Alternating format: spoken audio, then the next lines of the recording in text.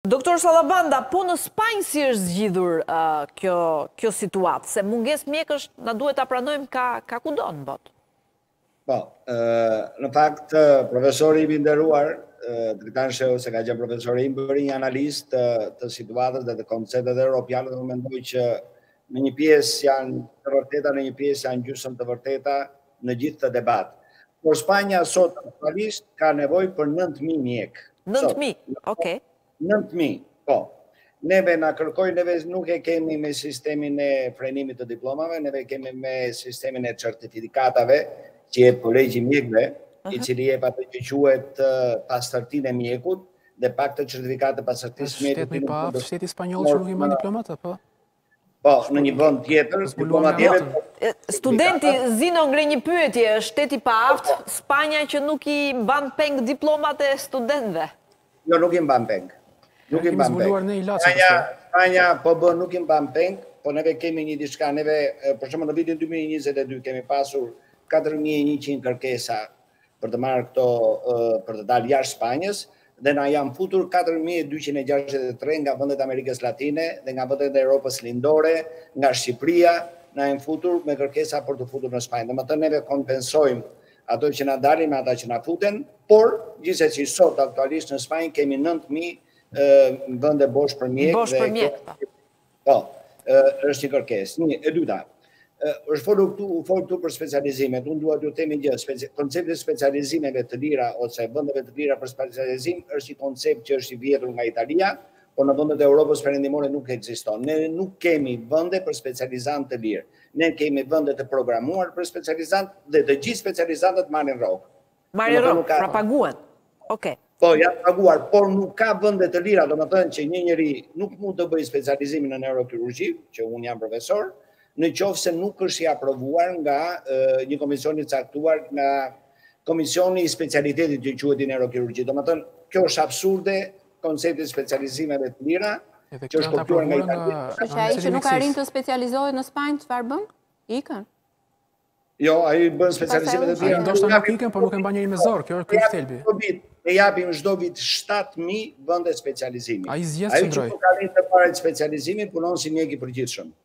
Dhe ky është me ky është me konkurs specializimet e lira është një gabim i madh për mua i Ministrisë së Shëndetësisë. E treta, është një shprehje shumë e bukur që kanë thënë studentët dhe unë dua ta përsëris që për të mbajtur zogjt Duhet të mbjellësh pemë, nuk duhet të krijosh kapare. Ky është thelbi. Kjo është shumë e bukur. Ky është thelbi. Ky është thelbi, thotë zoti Gremi.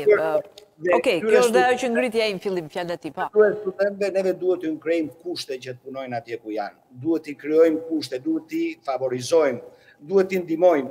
Të njëjtin problem që kemi neve për humbjen e, e mjekëve në Spanjë, dhe neve mundohemi që t'i kthejmë mjekët në proceset, me me gjithë studime shkencore, gjitha duhet bëhet edhe në Shqipëri. Por, jam dakord me kolegun që tha që punon në administratë në, në, në shëndetësi, domethënë, në probleme shëndetësie private.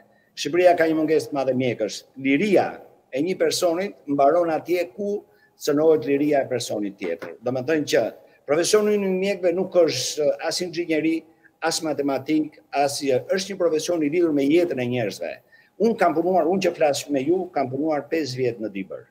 Mbarova pesë vjet në Dibër, bëra specializimin për neurokirurgji, u specializova në Spanjë, u bëra profesor në Spanjë dhe kjo nuk më pengoi që të kem arritur të kam publikuar libra, artikuj, jam një personazh shumë i njohur të paktën në Spanjë dhe jashtë Spanjës në neurokirurgji. Ato pesë vite në Dibër nuk më penguan që unë të eca përpara në jetën time, sepse kisha si qëllim të eca përpara.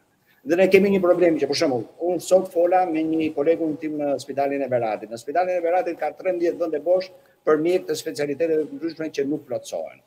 Në qindra qendra shëndetësore në fshat nuk ka mjek. Është po aq e drejtë kushtetuese dhe këtu jam dakord me zëvendësministrin e atyre që duan të ikin dhe të ikin ku të duan dhe atyre që kërkojnë shërbim shëndetësor. Ne të njëjtin problem e kemi në Spanjë. Neve kemi në Spanjë një largim të mjekëve nga zona të thella, por largimi i mjekëve nga zona të thella bën që njerëzit mos rrinë atje dhe të ikin dhe njerëzit nga zonat e thella. Kështu që qeveria spanjolle dhe gjithë sistemi shëndetësor spanjoll po merr masa që pikërisht të favorizojnë mjekët që të ikin në zona të thella.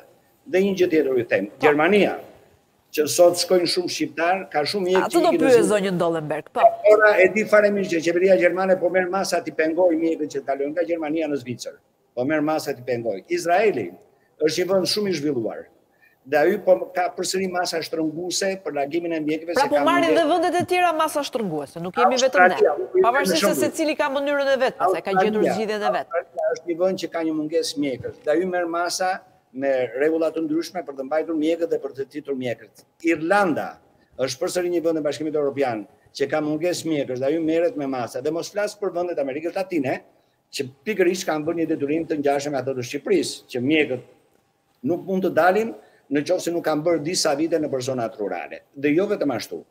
Mjekët që i specializon jashtë, dhe këtu jam dakord dhe me ato që ngriti profesor Tani, i detyrojnë që të kthehen nëpër vendet e tyre, sepse në qoftë se nuk kthehen në vendet e tyre, ata paguajnë një gjobë. Domethënë ata që i çojnë me burimet e shtetit për të studiuar jashtë. Domethënë që Vendet e ndryshme marrin masa të ndryshme, duhet t'u krijojmë studentëve atë pemën e bukur që zogjtë na ngelin këtu dhe kjo është një e vërtetë e madhe, por mos harrojmë që Shqipëria ka nevojë për mjekë. Jemi 1.8 për 100 mijë dhe kur Spanja ka 6.2. Po. Jo, Spanja ka 6.2, domethënë 3 herë më tepër. 3 herë më shumë.